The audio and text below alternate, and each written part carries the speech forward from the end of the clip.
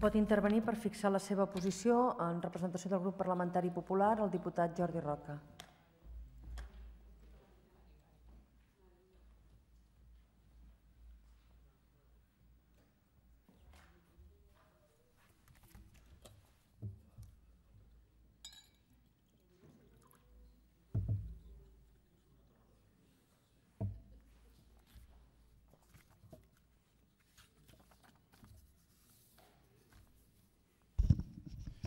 Gràcies, presidenta. Il·lustres diputats, eh, debatem una moció de la CUP sobre, sobre habitatge, que és un problema que, que ens commou a tots, sobretot arran d'una desgràcia recent que, que ens preocupa.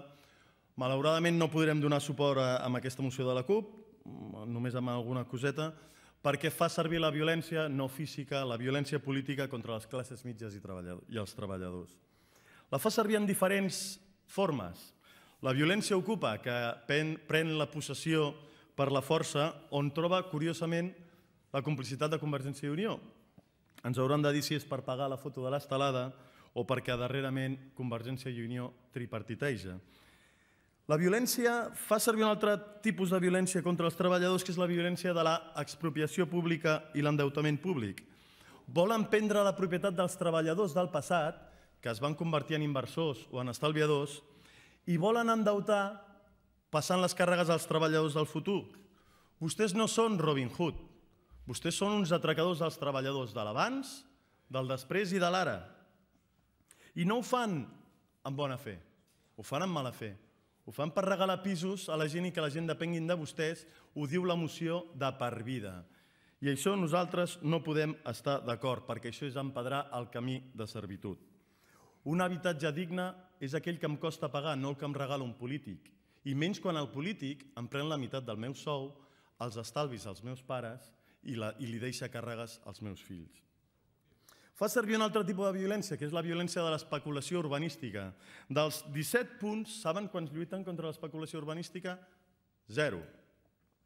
Quan el PP va intentar liberalitzar el sol, Convergència i Unió i el Partit Socialista ho van portar al Tribunal Constitucional, ho va tombar i no va entrar en vigor. Per què? Perquè volien perpetuar un model que és contrari al principi de lleis i no reis. És a dir, que el ciutadà no depenia d'una llei igual per tots, depenia de la decisió arbitrària d'un regidor d'urbanisme. Empedrant, de nou, el camí de servitud. Espanya va fer una transició al socialisme per aquest camí de servitud. dues legislatures. Va evitar la bombolla immobiliària? No. La que el 2003, que ja hi havia una bombolla immobiliària, el socialisme la va triplicar. No ho va fer per casualitat o per accident. Va alimentar tres bombolles, la mediàtica, l'energètica i la burocràtica. Per què? Per tenir més gent depenent del poder polític, per seguir empedrant el camí de servitud. I sobretot aplica una violència més subtil, i per això és més perversa. És la violència d'especular amb el patiment de les persones. Tots patim amb les persones que tenen problemes. Però no ens posem una samarreta i un eslògan, mirem de solucionar els problemes. No busquem culpables a fora per tenir una coartada per perpetuar allò que no funciona. Hem de mirar d'arreglar el que no funciona. No amaguem, com per exemple quan diuen que el rescat bancari, que el, hem, hem posat diners a tots, que és cert, 40.000 milions d'euros, i amaguen que els treballadors del passat els estalviadors han posat 200.000 milions, cinc vegades més. I per salvar no la banca, no els senyors grassonets amb barret de copa, que no existeixen. Per salvar la banca pública, la gestionada pels polítics, pels senyors que seien en aquesta primera filera. Uns polítics que què van fer després de la bombolla immobiliària quan va esclatar entre el 2009 i el 2010? Comprar sol a preu de bombolla immobiliària. I ara què ens demanen amb aquesta moció? Que aquests polítics que han arruïnat la banca pública i que aquests polítics que van comprar sol després de la bombolla, a preu de bombolla, gestionin la immobiliària més gran de Catalunya. Perdonin, però no. Amb nosaltres no hi podran comptar. Perquè aquest populisme de buscar enemics a fora eh, no funciona. És que quan es basa en una mentida és com quan surten dient la culpa és del capitalisme i miri, per exemple, nosaltres cobrem només 1.200 euros per commoure els baixos eh, instints de la gent Jo me'ls creuria si vostès portessin una moció aquí que digués que tot el personal de TV3, des de la presentadora i el president fins a l'últim, cobren 1.200 euros, tots iguals. Aleshores sí que me'ls creuria. No ho compartiria, però me'ls creuria. No me'ls puc creure. Personalment, i el nostre grup polític, creiem que l'única sortida de la crisi no és avançar amb el camí de servitud. Ja ho hem provat i ens va malament. Hem passat d'estar a punt d'entrar al G8 a estar a punt de ser rescatats per la comunitat internacional. Hem d'enfortir les classes mitges, els treballadors, no castigar l'esforç i la llibertat que generen propietat i benestar, sinó afavorir les classes mitges i els treballadors de debò, que són els que tiraran la societat endavant i els que, amb els que podrem ajudar els vulnerables. Moltes gràcies. Per pronunciar-se sobre les esmenes té la paraula el diputat Quim Arrufat.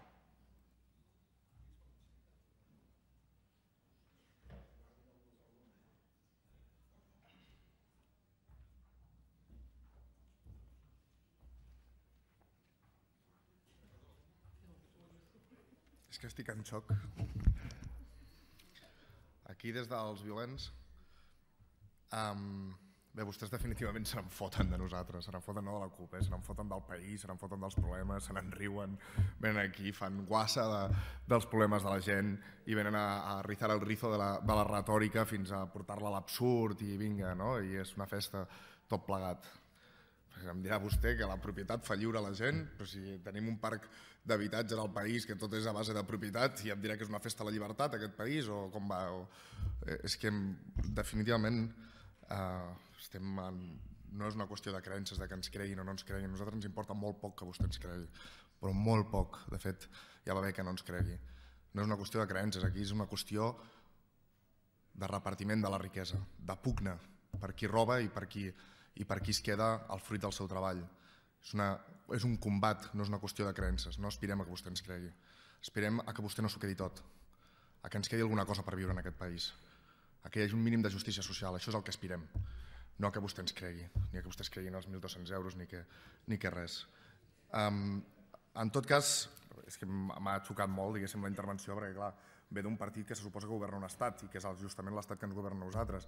I la veritat, el nivell deixa molt que desitjar que nosaltres fem de tant en tant algunes d'allò, mira, és un partit minoritari que el govern de l'estat en presència en aquest Parlament vingui se n'en foti de nosaltres a la cara vingui i comenci a fer retòrica absurda sobre que si són violents perquè no sé què, que si són violents que no sé què, que si no... Nosaltres ens sembla de debò fora, absolutament fora de lloc i li perd tot el respecte, o en tot cas una manca absoluta de respecte a la població.